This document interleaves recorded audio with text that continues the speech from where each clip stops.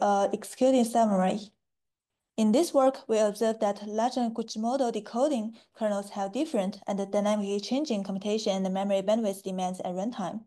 However, the existing heterogeneous architecture have two shortcomings. The first one, they employ dynamic scheduling that fails to dynamically cater to changing kernel demands.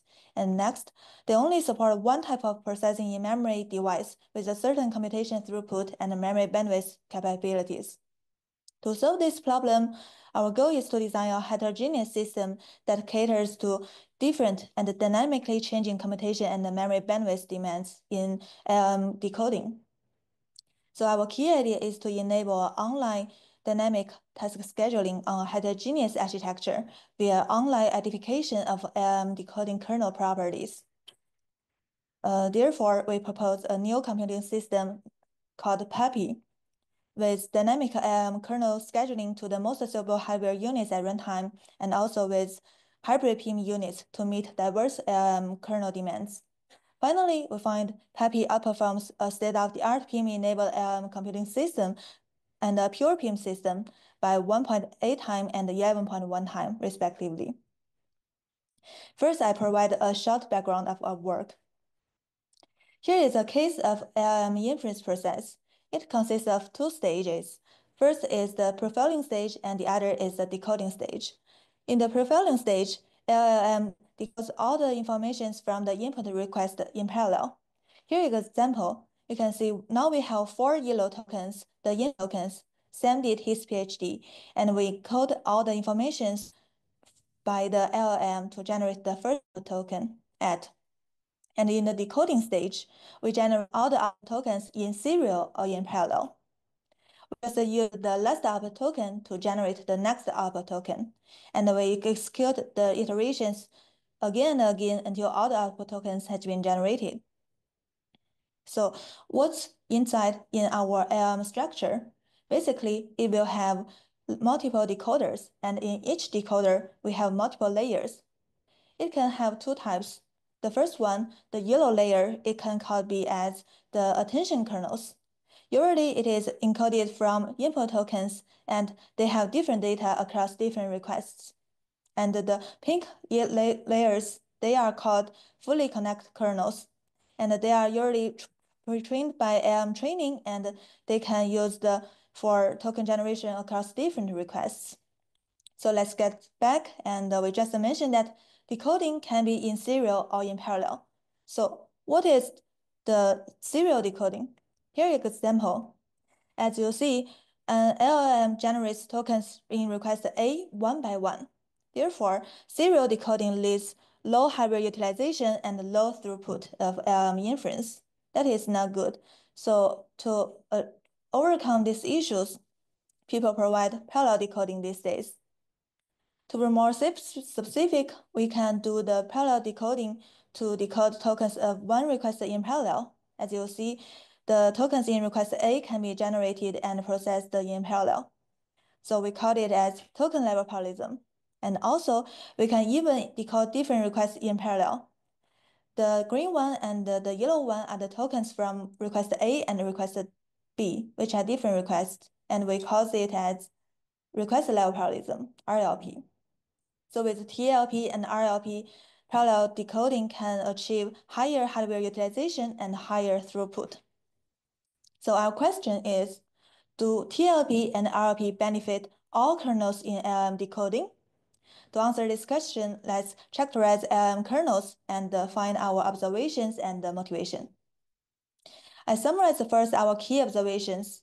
First, LM kernels have different computation and memory bandwidth demands across RLP and TLP levels. And next, memory-bound kernels exhibit different computation demands depending on the kernel type. Third, LM kernels have dynamically changing RLP and TLP levels. Let's move detail of each observation. First, we analyze the roofline model of LM kernels with different RLP and TLP configurations on a GPU system. And uh, as you can see, the yellow one uh, shows attention kernels and blue one shows FC kernels. With different RLP configurations, all the attention kernels and parts of the FC kernels are memory bound, but the other FC kernels are compute bound.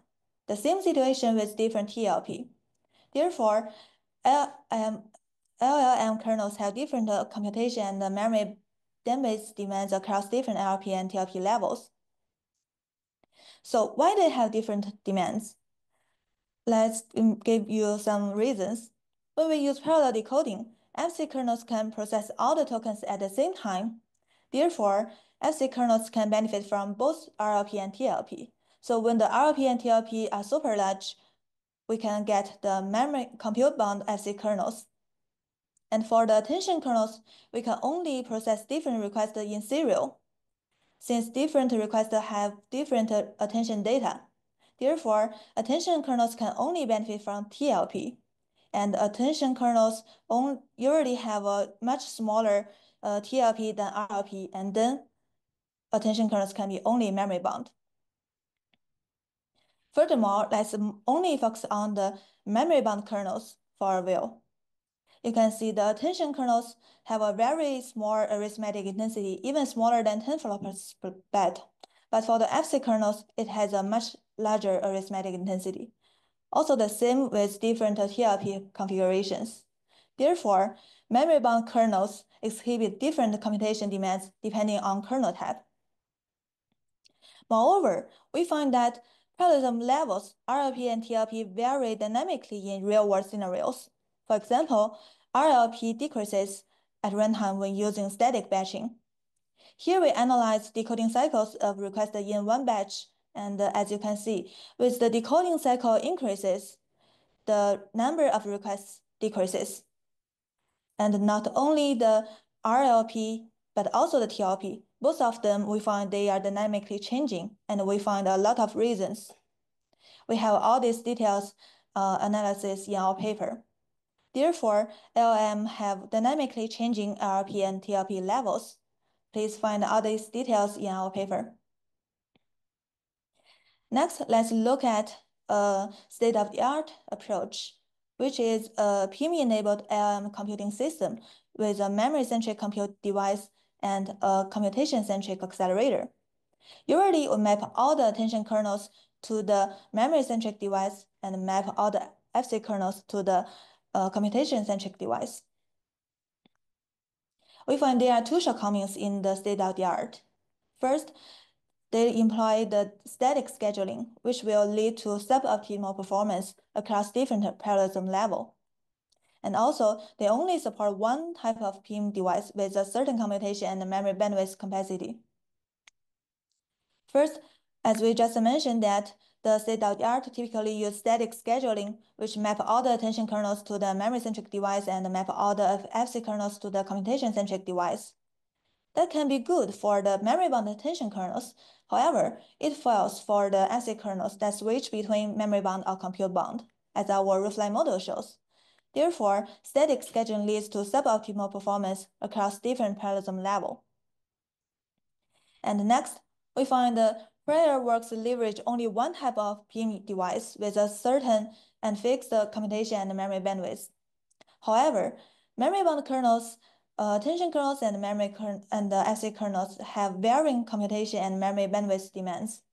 Therefore, prior approach support only one type of PIM units. It is hard to meet the various demands of the FC kernels and attention kernels. Based on our analysis and insights, our goal is to design a heterogeneous system that caters to varying parallelism level in real-world LLM um, inference with different and dynamically changing computation and memory demands. Next, I will show you the PAPI's overview. PAPI's key idea is to enable online task scheduling in a heterogeneous PIM-enabled architecture via online identification of kernel properties in large language model decoding. To this end, we design a new PIM-enabled computing design with hybrid PIM units to cater to different parallelism levels of FC and attention kernels. And also, we design a dynamic LLM kernel scheduling to cater to dynamically changing parallelism levels. Here is a PAPI's architecture. In this architecture, we have a high-performance processor to handle the memory-bound or compute-bound FC kernels, and we have the attention PIM to handle memory-bound attention kernels. As you can see, There are FCPIM and attention PIM in architecture. The hybrid PIM units handle memory-bound FC and attention kernels with different computational and memory demands. Next, I will describe how to implement our work. Let's see the high-performance processor in PAPI architecture first. It in includes a scheduler to do the dynamic scheduling and also with two kinds of computing units. One is processing units and the other is FCPIM. When the FC kernels are compute bound, we will assign it to the processing units, which is computation centric. And when the FC kernels are memory bound, we will assign all the kernels to the FCPIM. And in PAPI architecture, we have FCP and the attention PIM. FCPIM is placed in the high-performance processor, and the attention PIM stores KV cache. They are separate from the high-performance processor so that we can add more attention uh, PIM units to provide a higher uh, memory capacity and a higher memory bandwidth. In each bank in FCP, we integrate four floating point processing units so that we can have more FPUs per bank to provide higher computation capabilities to cater to FC kernel's demand. And for the attention PIMs, we have more bank groups per stack and also more attention PIMs device. Therefore, we can provide a higher memory capacity to cater to attention kernels. Now we have two kinds of uh, computing units to execute the FC kernels, FCP and the processing units. So how can we do the runtime scheduling? Before do the runtime scheduling, we will identify the memory boundness threshold offline to test the, the FC kernel's ex execution time with different parallelism levels and find under what condition the kernels can have a better performance on FCPIM rather than PUs. After that, we will execute the runtime scheduling. First, we always monitoring the, uh, the parallelism levels, the RLP and TLP, and once the parallelism levels changed, we will execute the arithmetic intensity predictor to estimate the arithmetic intensity of FC kernels and compared with them, the memory boundness threshold. And finally, we execute the scheduling to map FC kernels to each FCPIM or PUs. Next, let's look at our evaluation part. We evaluate PAPI performance and energy simulator provided by AttAcc, which is based on Ramulator 2. And we compared PAPI with three baseline. The first one is a state-of-the-art PIM-enabled LLM computing system named AttAcc, and a PIM with um, HBM computing units, and also a PIM-only processing units. We employ all of these with three workloads, which are very popular transformer-based LLMs. And uh, we use a Dolly dataset with two different tasks. Here are the performance result. On average, PAPI provide 1 time, 1.8 times, 1.9 times, and 11.1 times compared to the baselines. Our speed up over PAPI only, PIM only is about uh, is because of two reasons: hybrid PIM units and also the heterogeneous system with computation-centric processing units. And here are the energy efficiency result. On average, PAPI improves energy efficiency by 3.4 times, 3.4 times, and uh, 1.2 times compared to the three baselines. It is because the heterogeneous baselines, AttAcc and the GPU plus HBM PIM execute all the FC kernels on energy-hungry A100 GPUs, while PAPI offloads part of this to FC PIM devices. We invite you to check our paper for more details on PAPI's implementation, such as heterogeneous architecture design and the runtime scheduler. Also, more evaluation result. And we also do the area and the power analysis to make sure our design can under the constraints. To conclude our work, we have three key findings. First one, LLM kernels have different computation and memory bandwidth demands across different RLP and TLP levels. And next, Memory-bound kernels exhibit different computation demands depending on the kernel type. Third, LLM kernels have dynamically changing RLP and TLP levels. To, to this end, we propose PAPI, a new PIM-enabled heterogeneous architecture design that caters to varying demands of LLM kernels by scheduling them dynamically to computation-centric processing units and hybrid PIM units. And finally, we find PAPI largely improves both energy efficiency and performance over the best previous uh, LLM um, um, decoding systems. Here are all for today. Thank you, and happy to take any question.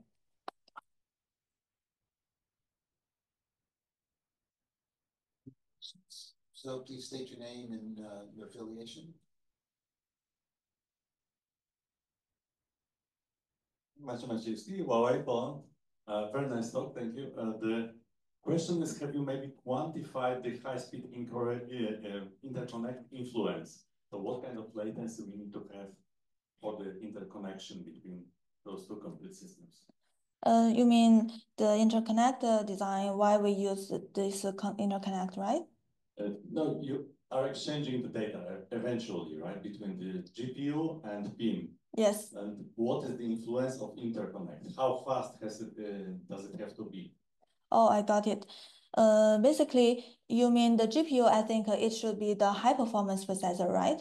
We can think it the high-performance processor as a GPU, and uh, outside we have the attention PIM device. Basically, it can only use the general uh, interconnect. Uh, let's say uh, we use the PCIe, and you can also use something like CXL to do that. Since there are very few data trans data movement, they only require to send the Q vector, which is a about a bit level. So we don't require very fast interconnect to do that. Thank you. Any other questions? Yes.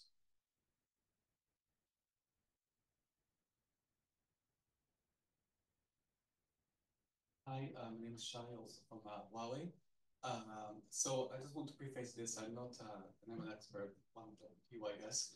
But um, regarding uh, this work, so I know that MLA, the multi-latent attention, kind of shifts a lot of the memory-bound operations of attention more to the compute-bound side.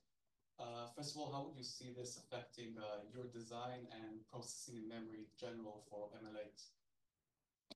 Um, you mean how to generally use our architecture for the uh, LLMs, right? For the multi-latent attention. For the multi-latent attention. So basically, um, these days, works more and more use PIM to accelerate attention.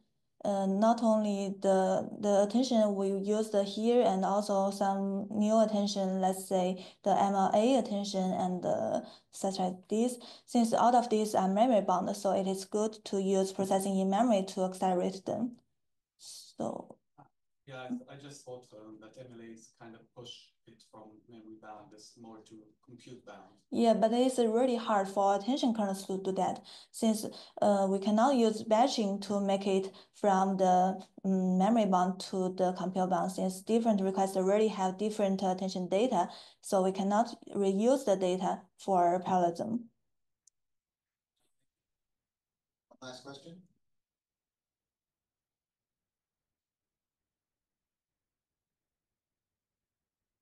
Zhengtao Huang from TU Delft. You mentioned a predictor for arithmetic intensity. How do you do that? Oh, uh, basically, it is uh, an estimator equation. We have some equations and then find that the arithmetic intensity can be equal to TLP plus RLP. And then you have a very, um, well, let me show you some result. Here, uh, with the equation, you can see our estimated arithmetic intensity is very similar to the measured arithmetic intensity. Only when the uh, TLP and the RLP are super large, we will have a gap. But it doesn't influence our result since when the arithmetic intensity, when the parallelism levels are super large, it should be compute-bound. So that's not a problem.